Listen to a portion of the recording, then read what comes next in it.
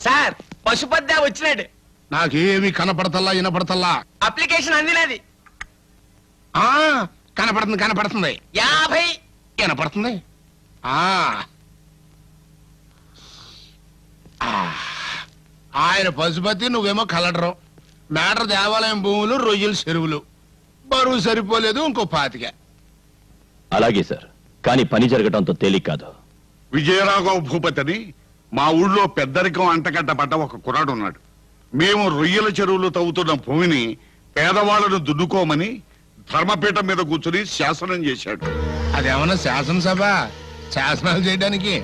చూడు government power చేతిలో ఉన్న ఈ అతి నీతి కలెక్టర్నే మీతో పంపిస్తున్నా.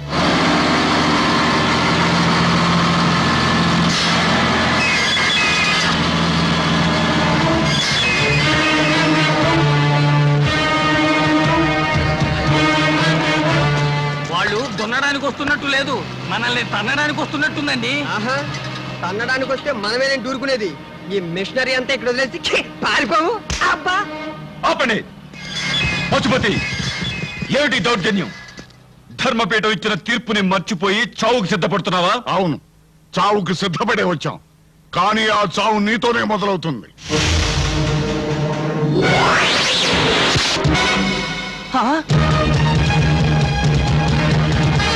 చెంబుతో నీళ్ళు ఇమ్మంటారా? ఈ- ఎందుకు? సింహం వచ్చిందిగా చెట్ల తోటకు పోదాం.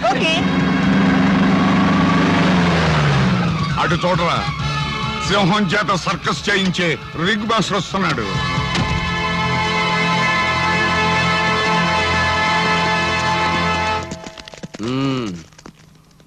ఎవరు పా నువ్వు? మా బొబ్బిలి సింహం.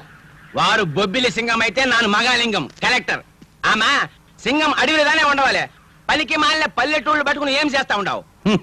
పల్లెటూళ్ళు సహజమైన అందానికి పట్టు కొమ్మలు చక్కని గాలికి ఆట పట్టులు తీయటి తంగేటి జున్ను వంటి తేనె పట్టులు పాము వలె మెలకలు తిరిగిన పసిరిక గట్టులు నోరూరించే గుమ్మ పాల ఉట్టులు కన్నుల పండువగా తిరిగే లేగదూడల చిద్దులతో ఆలమందల అరుపులతో నిండిన పశువుల కొట్టాలు. దేశానికి పట్టు కొమ్మలు మన పల్లె పట్టులు. పల్లెటూళ్ళ గురించి డమ్మడమ్మడమ్మ మృదంగం మాదిరి వాయించేసినావే? చట్టం పత్తి కొంచెం కూడా తెలియదా? దున్నుకోని ఆర్డర్ చేసినావే? తప్పుదానే తప్పు కాదు. అదే న్యాయం. ఆమా నువ్వు చెప్తే న్యాయమై పూడ్చునా? కోర్టులే మున్సిపల్ కోర్టు తిరిగి మేజిస్ట్రేట్ కోర్టు తిరిగి హైకోర్టు తిరిగి ఫైనల్ సుప్రీం కోర్టు తిరిగి number of courts are they?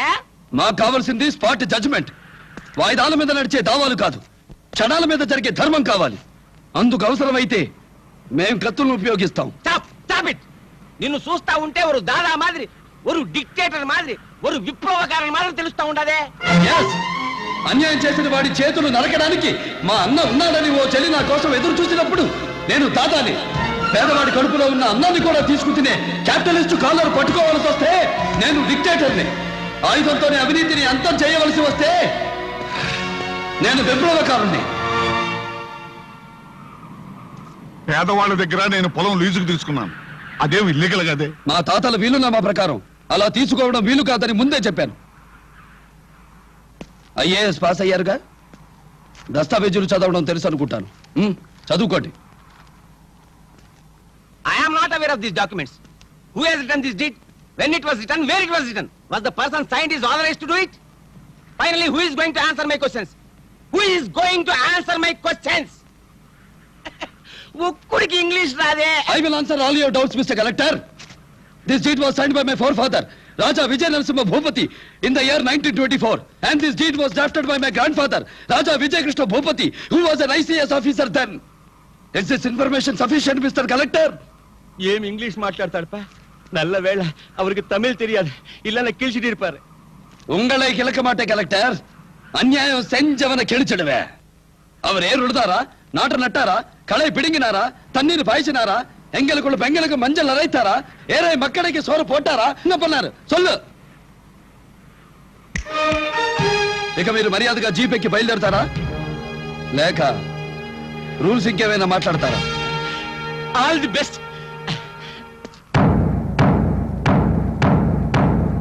పేదవాళ్లను ప్రలోభ పెట్టి పత్రాలు రాయించుకున్న పాపానికి వాళ్ళ మీద దౌర్జన్యం చేసిన నేరానికి పశుపతికి మూడు చెప్పు దెబ్బల శిక్షగా విధిస్తున్నాను